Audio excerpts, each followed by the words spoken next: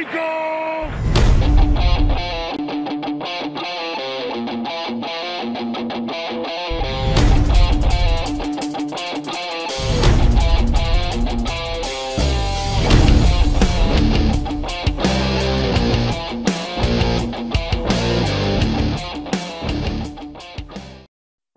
What's going on, Cowboy Nation and angry Cowboy fans around the world?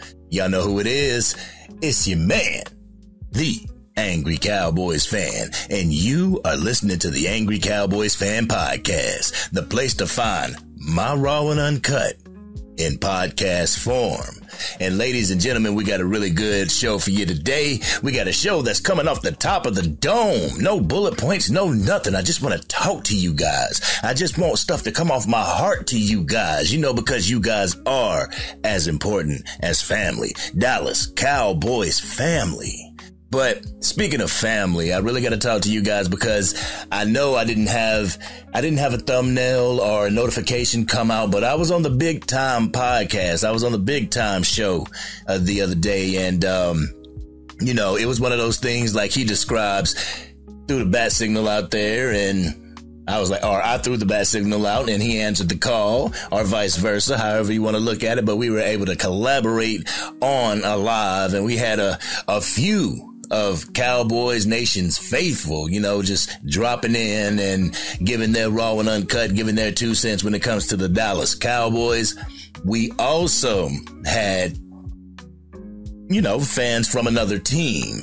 And they were giving their raw and uncut when it came to their team. And we're able to hash some things out too. But most importantly, something happens on the big time show. And what happens is we could be talking football, we could be talking Dallas Cowboys or, or football or even basketball. And then life happens and it gets real. And we can have those conversations as men and women. We can have those conversations and it's just a dope experience. But in that experience, I shared with Big Time's audience. And if you were there and you're an Angry Cowboys fan family member, I shared the fact that, you know, my brother is back in the hospital. Um, he has an infection in that amputated foot. And that's why I haven't made a video because, you know, my brother's my best friend.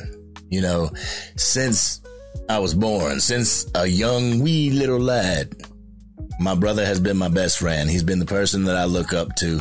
He has been the person that has been by my side through it all. You know, through all the trials and tribulations, he has been there. And right now he's going through a trial and tribulation himself and I gotta be there. I can't be there physically because we stay like almost 900 miles apart, but I want to be there emotionally, you know, spiritually, because we both believe in God and we believe that He got him you know? So that's where the absence comes from, you know, as far as making the videos. And I wanted to let you guys know that. So I put it in the community tab, but I also talked about it on the big time show and it got a little emotional and there was a misunderstanding on my part. Um, you know, there's a guy, Houston Texans fan. If you're watching this video, you know exactly who I'm talking about. I don't have to mention a name, but um, I misunderstood what he was saying. He was going at another fan, and I took it as he was going against, you know, he was going toward me. And, you know, it was a complete misunderstanding, but I was wrong. Just put it that way. I was wrong he may come in these chats. He may troll the Dallas Cowboys. You know, he may troll the Houston Texans are better than the Cowboys and stuff like that. But at his heart, you could tell there's something different. I, you know, I gave him props for, um, donating to other Cowboys content creators. You know, I saw that and I'm like, man, you know, I got this dude blocked. Let me, let me, let me do my due diligence. Let me do my research and everything. And dude is a cool dude. He's a cool dude. Along with another, a Philadelphia Eagles fan. Cool dudes. You know, we were able to talk during that live. And yeah. So welcome back, guys. I mean, I know I'm gonna get the trolling in the in the chats and everything, but uh welcome back. It's family, it's love. I appreciate I appreciate the prayers. I, you know, I appreciate y'all keeping my family in your prayers and everything. You know, you're not a Dallas Cowboy fan. It, it was dope. It was dope. But, um, yeah, that's the thing that I wanted to talk about. It's like football is football. You know, the season is the season. This is real life. Real life things happen. And I hate football being that division. You know what I'm saying? Because I like this team and you like this team, we got to be divided. No, it doesn't have to be that way. You know, you can like the Philadelphia Eagles and I can like the Dallas Cowboys and we can still coexist. You know what I'm saying?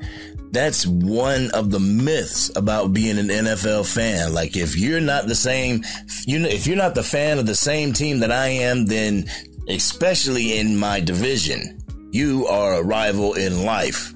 Nah, that ain't the case. You know what I'm saying? That's not the case at all.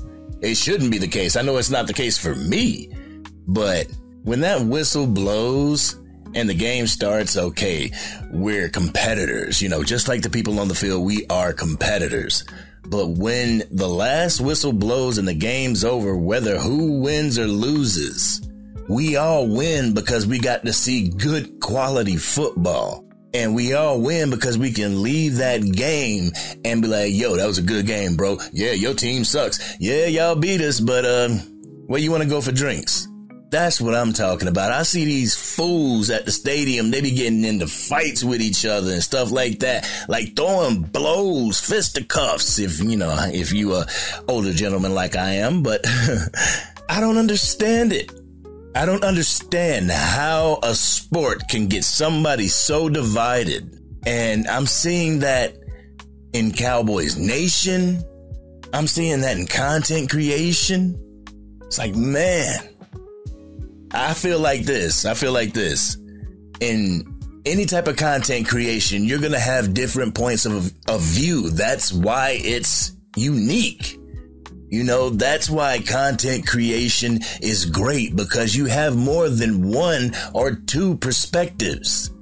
You have perspectives from cowboy content creators that will align with how you believe in the team. Some won't actually line up with how you believe, and that's okay. That's the thing that I understand. It's okay to have differences of opinions and still get along. A hundred, keep it a buck.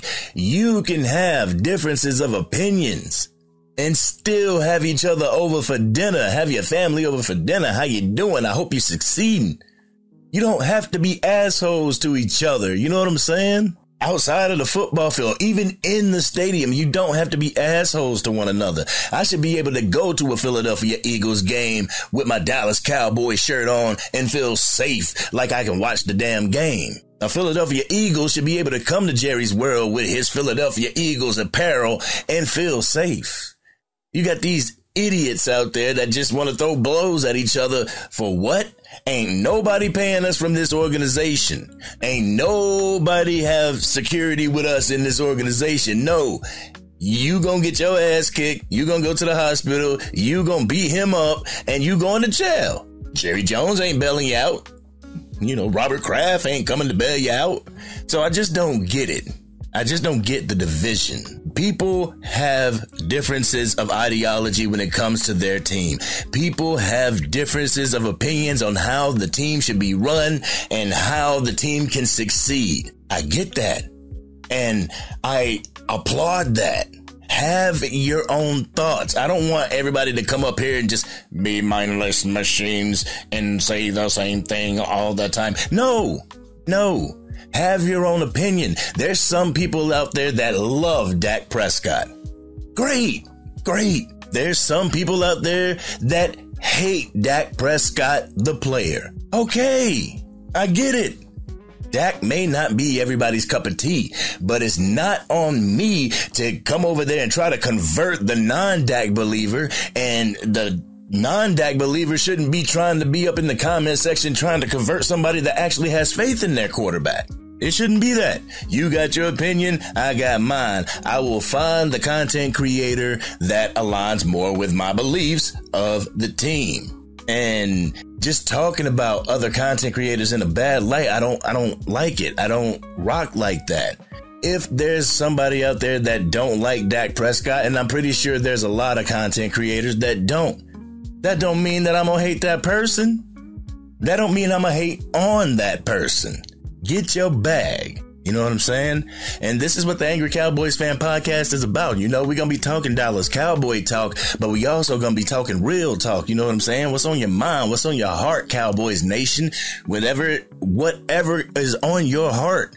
Speak about it when it comes to this team. You know, I don't want to hear no death threats or anything like that in the chat section. No, but whatever is on your mind about this team, give me your raw and uncut. Real talk. Damn, I done spent 11 minutes just talking about that. But I could talk about that all day just for the simple fact I'm a man about unity. I'm a man that wants to see our fan base coexist. I want to see our fan base be on the same page. You know what I'm saying? A lot of people, there's the patient ones and there's the impatient ones. The patient ones know this like, okay, I'm going to see what they do for us. I'm going to see what the team we were able to assemble is going to go out there and do. The impatient one is like, they better make it to an NFC championship game this year. It's impatient, forgetting about the whole overarching narrative that we are here to be entertained. We are here to be entertained. It's sports entertainment. I get it that the biggest prize is the Super Bowl, but you can't sit there and knock because somebody doesn't make it to the Super Bowl every single year. You know, you just can't knock that. Like, if we don't make it to an NFC championship, it was a bad season. How can you get to that point? If we don't get to the NFC championship, it's a bad season. Everybody frowns on that 12 and 5 as if it was given to us, as if it was predestined to us. No, they had to work for that. And they got it. They landed it three years in a row. And I know a lot of people back in those off season were talking about the Dallas Cowboys as not making moves. We are doing pretty much the same stuff that we have always done. And for some reason this year, it's the worst.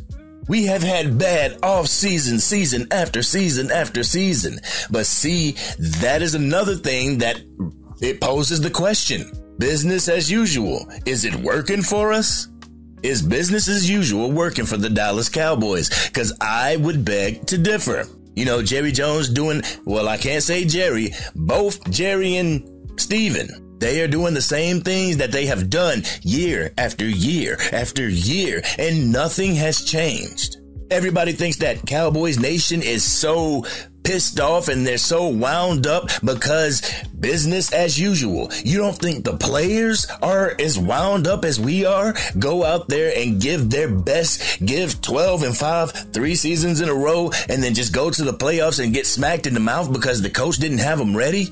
That has to be that has to be pretty nerve wracking in itself. You know what I'm saying, Cowboys Nation? So we're not the only ones that want the Super Bowl. We're not the only ones that's given our all for this team. The players out there are doing the exact same thing. And I wish that the front office would reciprocate those feelings and start treating this team as a as a priority. Like people keep saying, and I keep hearing this narrative, the narrative of you can't sign all three of them. You can't sign all three of them. Like, why can't you? Why can't you? Charles Haley was talking about, you know, the, the bill is due. He has been backloading the contract so much that the bill is due. Continue to backload him. Continue. You are going to be doing that throughout this franchise's existence. It's not like you're going to be like every single year, like, yep, we're up to code, we're up, we're good, zeros. No, that's not going to happen. It's not going to happen. So what you do, you continue to kick the can down the road because honestly, Cowboys Nation, if we were to get a couple pieces, we would be contenders. If we were able to get like three really good to great pieces, we would be contenders. And I mean, I know the four and three letter networks are saying that we're contenders now, but even more so. Like if we were to get that nose tackle or that defensive tackle that was plugging up the middle. We were able to get that. If we were able to get a good to great running back or get great production out of our run room, and I call it the run room, the running back room. If we were able to get good production, great production out of the running back room. And if we were to get another wide receiver, that's why I was banging on the table to get Keon Coleman or somebody comparable, even Brenden Rice. I was banging on the table for that. I mean, one, because you got security with um, CeeDee Lamb just in case he tries to hold out. And two, you have another weapon on the other side of the field. And I'm not saying that Brandin Cooks isn't a weapon, but what I'm saying is you add to that. Whew, the Dallas Cowboys could be dangerous. I mean, you look at the Miami Dolphins. They got Waddle, Hill, and now OBJ. They have a dope wide receiver corps. The Dallas Cowboys, do we stack up to that? You know, so I feel if they were to just like, yo, continue to, you're going, you're going to continue to do business as you've done it years past. Why is kicking the can down the road now so horrible and it wasn't two years ago, three years ago. You know what I'm saying? But like I said, I'm going straight off the dome with this. This is the Angry Cowboys Fan Podcast. And if you're down with the Angry Cowboys Fan Podcast, give me a hell yeah. Give me a hell yeah in the chats. That's what I'm talking about. And uh, right now, I just want to bring up somebody on the defense. Somebody I've seen videos of you know, after the injury, is doing really well. Vert's looking really good, hopping the hurdles. Like I've said, Cowboys Nation, please, for the love of goodness, don't rush Trevon Diggs back. Don't rush him back. I don't want to see him out there week one matching up against Amari Cooper. Not unless we're up by like 21, 24. Huh. But if we're up, it's the fourth quarter, and you want to see if Diggs can handle the NFL capacity on that knee, please put him in. But don't make that the, the first pick. Don't make him the starter. Real talk. That's why I've been banging the table on Stephon Gilmore. Bring him back. Bring him back for what you brought him there for. You know, I know he thinks that he can get more, but if he could get more, he wouldn't be a free agent right now. Give him what you brought them there for. You know, so we can continue this. We got unfinished business, Cowboys Nation. We have unfinished business. And right now, the NFL has the Dallas Cowboys third in the NFC to make the Super Bowl. Dang, we ain't even had a snap in the preseason and they talking about third in the NFC. So they must not think that this roster is that bad to consider us like that. But the thing is, I, I think it's more like they put so much expectation on the Dallas Cowboys and they get so disappointed when they don't live up to the four and three letter network standards. And I feel like a lot of Cowboys Nation does that. You guys do that. You let the four and three letter networks dictate what good is without allowing your eyes to dictate what good is. 12 and 5. I'm sorry, that's a good damn season. Did we do good in the playoffs? There's a couple playoffs where we did, but we got bumped in the divisional round. And there was three playoffs where we kind of wet the bed. And honestly, I was looking at a play with a minute and something left, 49ers game. The line broke down. Dak Prescott scrambled, threw it up, tried to throw it to Cedrick Wilson, and Cedrick Wilson couldn't track the ball properly. That would have put us at what, the 15 yard line with a minute and something left on the clock. That's Dak Prescott's fault. See, see, I don't even want to get on that. I don't want to get on that soapbox. Y'all know how I feel. But as far as Trevon Diggs, I want to see him walk back into that defense so that we can have him if we make a playoff run. We can have him ready, primed, ready to go toward the middle and end of the season.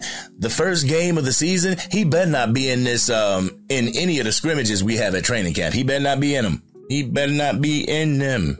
We are not trying to lose Trevon Diggs again. Walk this man in, allow him to settle in, him and DeMarvion Overshown. Allow him to settle in. Don't rush him like you rushed Michael Gallup because Michael Gallup wasn't the same after you did it. Don't rush him. Let him take his time. He's looking good. He's looking good in these videos. He is.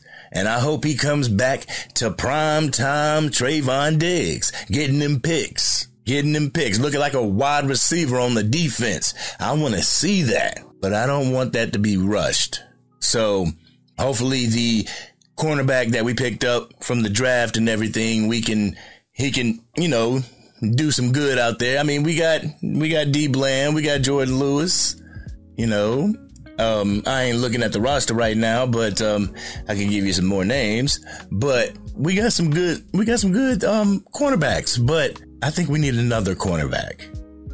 Honestly, a defensive tackle, another cornerback, and we need a running back. But as far as, and I'm gonna get off the Trevon Diggs situation, y'all know how I feel about that.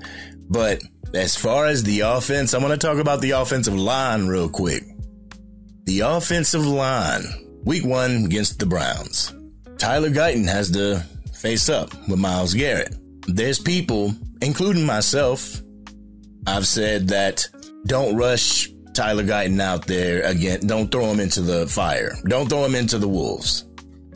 And there's some out there that's like, that's what we drafted him for. Throw him out there. He's going to have to get the reps somehow. And I understand that. I completely get that. But I believe it was um, Bryan Broaddus that brought this up. He said, This is what you drafted him for. If we go out there and Tyler Guyton, whom you drafted number one overall, doesn't start and doesn't get the reps, it's gonna look like a Mazi Smith situation all over again. You know, like y'all got this guy knowing that he was an NFL project and you expected him to take Tyron Smith's place. So if you don't bring him out there the first snap of the game or in the game, then we're gonna look like fools. We are going to look like fools. So, do you place Guyton out there? Do you give him limited reps? Uh, you know, I think that should happen, but just have that backup. Just have that backup. And honestly, the backup situation for me, the line that it would be for me, we're going to start from right tackle. Obviously, right tackle is Terence Steele. We have Terence Steele. Then we have Zack Martin. Then you have Brock Hoffman at center. Put Brock Hoffman at center. Then you have Cooper Beebe at guard and then Tyler Smith at left tackle. That should be the line going in. That's that's the line that gives me hope.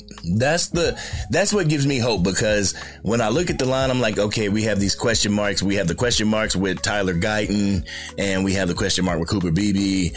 Um, but we know that Cooper Beebe is a dog at the guard position. We know that. We know that as a matter of fact because this is what he played in college. We know he will be a dog there. We know that Tyler Smith can hold up and be a dog at the left tackle position to keep Dak Prescott upright. And with Zeke Elliott in the backfield giving chip blocks or even picking up the pass rush, that's security. That's time in the pocket.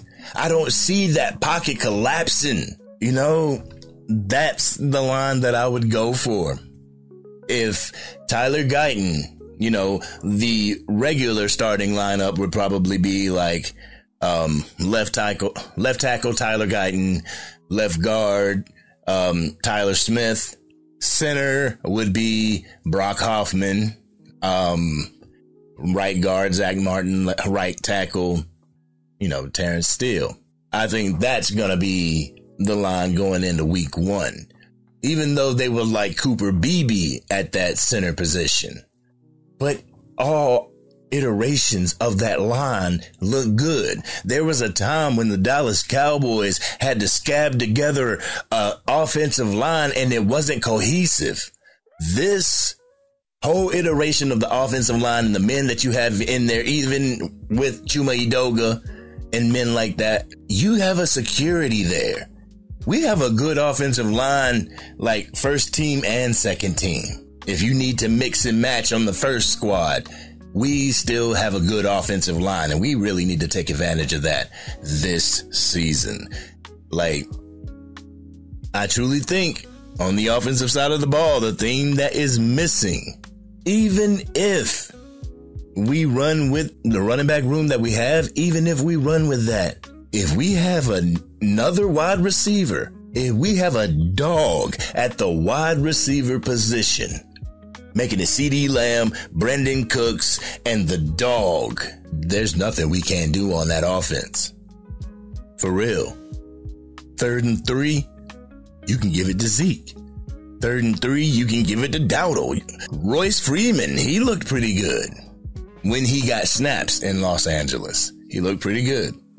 So just because we have the makeshift running back room doesn't mean that we're just going to be the worst in the league. I think these guys have something.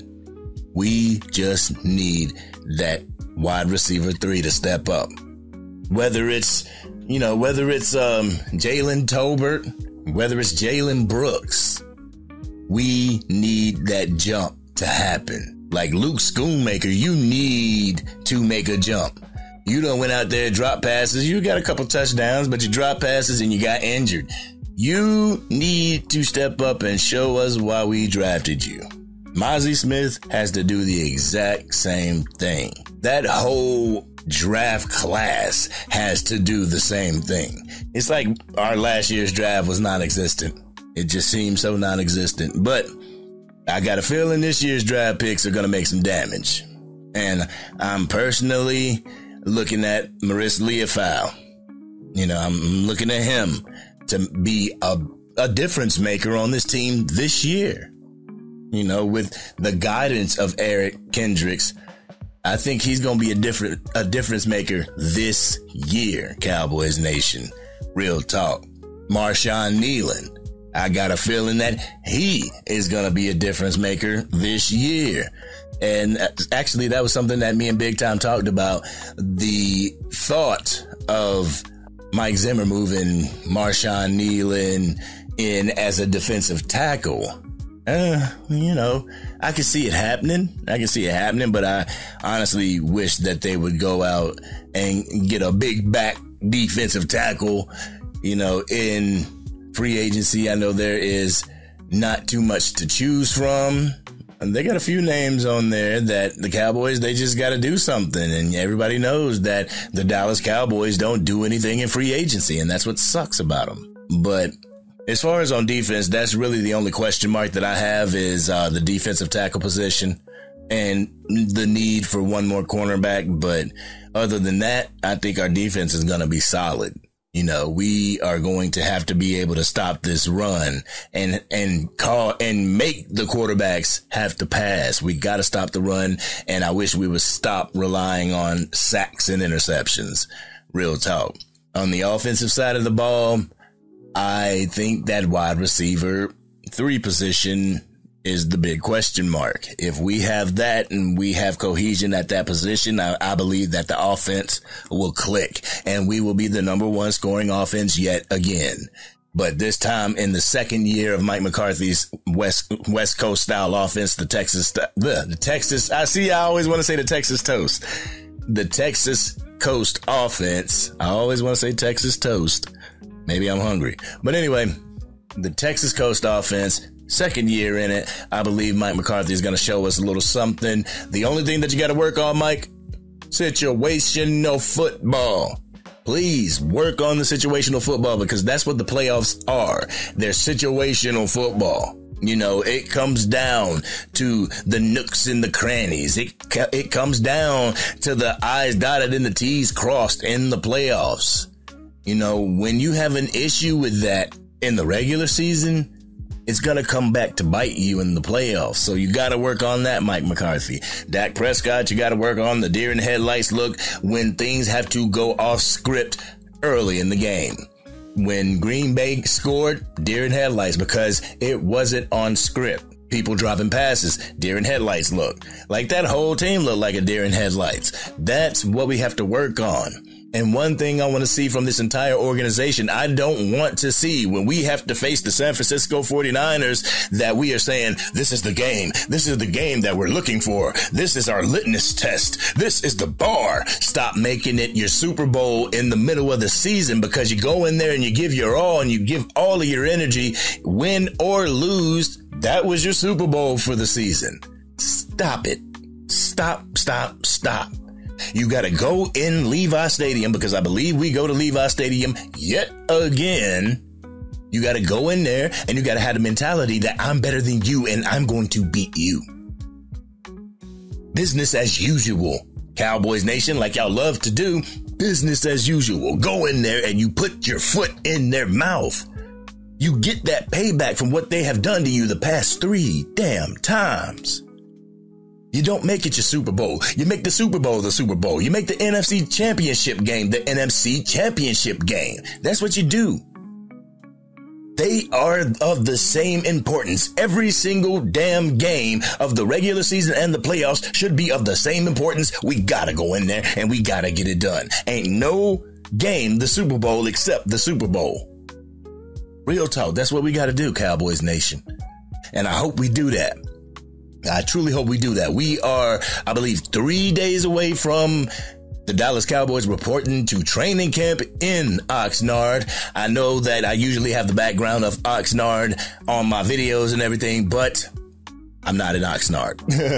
I'm not in Oxnard. I'm on the East Coast and I wish I could go to Oxnard, but I don't have the bread for it. But hey, Maybe you guys can help send me not this year, but next year to next year's training camp because it's going to be exciting. Y'all know it's going to be exciting with the whole Dak Prescott situation if they don't get him signed. So maybe we can start a fund on the on the Cash App and the PayPal's for the Oxnard trip for the 2025 off season. And I'll be putting in what I can as well so we can get out there get some representation for Cowboys Nation. And I mean, I know we got a lot of dope content creators that go out there. And That's another reason why I want to go out there is to meet the people that I look up to, to meet the Law Nations, to meet the Dak Attacks, to meet the um, Mark Holmes and Game Time Brian, if he ever decide to go, and just all these people, Landlord, West Coast, you know, um, Jay Tuck, and when I go into naming people, I know I forget a lot of people. Craven Cowboys is going out there. You know, I'm, I'm going to be forgetting a lot of people, but rest assured, you know, charge it to my head, not my heart. And I hate to steal that from Law Nation, but it's the real deal. You know, I'm, I forget. But with that being said, Cowboys Nation, it's going to be exciting. The position battles are going to be exciting. The outcome of those position battles are going to be exciting. I can't wait to see Trey Lance on the field. I can't wait to see it. I don't want to go in there sounding like a hater, like, no, no, Trey Lance, we don't want Trey Lance. But at the same time, I just truly feel that Trey Lance is getting robbed of his opportunities. He's getting robbed. He doesn't have and he doesn't have a future to where it looks like he's going to get a QB1 position, not here at the Dallas Cowboys. Everybody's talking about the fact that, oh, he can go in the game. He's going to have a good preseason. It's like, why did we all of a sudden promote Trey Lance over Cooper Rush? A person that some people say that could take over this team and work effectively. Why did we just bump Trey Lance over Cooper Rush? And Cooper Rush be damned. He's not gonna, he's not gonna just hand his job over to Trey Lance. I don't give a damn what the organization wants. I'm going to fight for my position. And so that position battle is gonna be dope. Yes, we're gonna get to see Trey Lance in the preseason. We're gonna get to see that. But we're gonna get to see Cooper Rush too. We've seen Cooper Rush. We've seen Cooper Rush in primetime games we have seen Cooper Rush win, what was it, five and one? Yet they were against the tomato cans and everything, but he still went five and one. He still had a good performance as a backup. We know that he is a reliable backup, that he can get it done when the lights are bright. I won't say the brightest, but bright. He can do that. We don't know if Trey Lance can do that. And another thing I said on Big Time Show in a quarterback, whenever the pocket breaks down, I don't want his first instinct to run. I don't want that. Some people may want that, eh, whatever. But my thing is, I want my quarterback, when he sees the pocket collapsing, to be able to roll out, extend the play, create another pocket, and get a throw off. If he can't do that, then yes, he's going to have to tuck and run. There are times where you do have to just tuck it and run.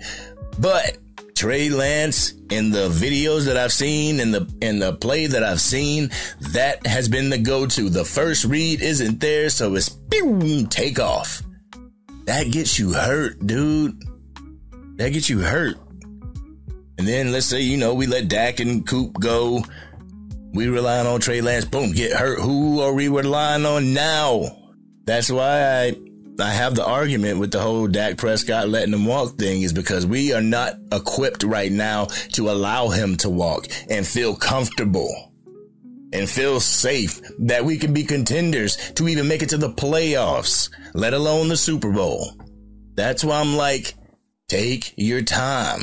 You've taken your time with signing Dak Prescott his first contract take your time in moving off of him. Not, not like him being here 35 years or whatever. I know that's irrational, but not him being here 20 years and stuff like that. But this next contract, the second contract for Dak Prescott, that's when you move off of him. You don't make the irrational cut your nose off despite your face move, just moving off of him, bam, with nothing to back him up. You know, Cooper Rush is great, but I don't think it's going to get us over the hump. You know, Trey Lance may be a good opportunity, but it's not what's going to get us over the hump. And to keep it a buck, Cowboys Nation, what's going to get us over the hump is us not doing business as usual. You see how that all came full circle?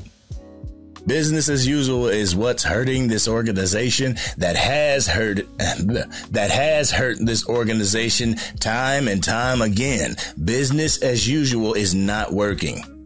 It's time to switch it up. It's time to switch it up so that we can get to places we haven't been in over 25 years, 29 to be exact. We gotta switch it up, Cowboys Nation. But as far as the fans, we gotta come together, y'all it's just looking crazy. There's so many fan bases out there that's be like, shoot, give us Dak. We'll take Dak. Yeah, we'll take Dak in a heartbeat. Give us Dak.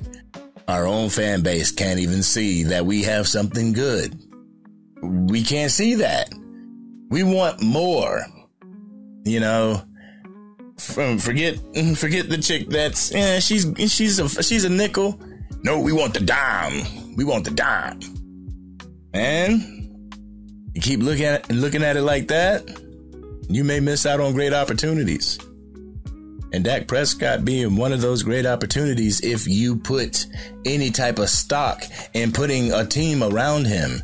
You look at the teams that we've had. The teams weren't placed around him. We drafted him like that. I'm talking about pieces that are strategically placed. Amari Cooper, was strategically placed because Jerry Jones saw that he didn't have an option at the wide receiver one position. And we were getting hurt because of it. So, boom, Amari Cooper was put there. But a majority of everybody else, Brandin Cooks, he was put there. But a majority of everybody else was drafted, was homegrown. You know, so making those those choices and decisions is like we can't get over the hump with the homegrown players. We need somebody from the outside that's going to give us that edge and that's going to get us over that hump. And Stephen Jones is not willing nor allowing that move to happen. The coaches can ask all they want. Dak Prescott can ask all he wants. But at the end of the day, it's Stephen. It's Stephen and Jerry. Sometimes Jerry can want something. It's Stephen. The conservative view of running this team is keeping this team conservative as far as wins go too. We're not going above and beyond because our front office is not going above and beyond because they just want to keep the status quo. 150% real, y'all. In my truth, I should say. In my truth. You may have something different, and I want to know what you guys got to say, okay? So make sure you hit the chat, just blaze the chat up, hit the chat up, leave a comment, and let me know your raw and uncut because we're going to cover that in a mailbag special of the Angry Cowboys fan podcast. And we're going to be going live a little more often now that training camp is officially starting this coming week. Thursday, I believe, is the first practice for the Dallas Cowboys and we could not be even more excited. It's going down. The 2024 season is going down and hopefully we can get some contracts going. Jerry, we can get some contracts going. Stephen, we can get all this done before we go into the regular season because if we go into the regular season and we don't have CeeDee Lamb, you making it tough. You making it hard. You didn't even draft a wide receiver. All right, let me let me stop. Let me stop. Well, you drafted Ryan Flournoy. You did, but we didn't draft a high pick. And real talk, a dope wide receiver can come out of the fourth, fifth, sixth round to keep it a buck. But anyway, these have been my thoughts. These have been my thoughts off the top of the dome. I truly appreciate every single person that has watched the Angry Cowboys fan podcast. I truly thank you guys from the bottom of my heart for everybody that has kept my brother and my family in their prayers. Again, I want to thank you from the bottom of my heart. And I am just thankful and blessed and humbled that you guys choose me as one of your Dallas Cowboy content creators. I don't have an inside of the star, y'all, but I do have an insightful brain and I know my Dallas Cowboys. I have rooted for my Dallas Cowboys for years and I believe we all are on the same page. But with that, this has been your man, the Angry Cowboys fan. If you are not subscribed to the channel and you uh, kind of like what I do here, go ahead, hit that subscribe button. Hit the bell so you can be notified whenever I go live, release a video or a podcast episode. If you like what you heard in the podcast, drop a like on it. And like I said earlier, give me your raw and uncut in the comments section. All right, y'all. It's been your man, the Angry Cowboys fan. I'm to have more content for y'all. To be doing more of the skits for the members. So if you want to be a member, all you got to do for $2 a month, hit that join button and just become a member and see what the others don't get to see. This is your man, the Angry Cowboys fan, and I'm out. Dang, Angry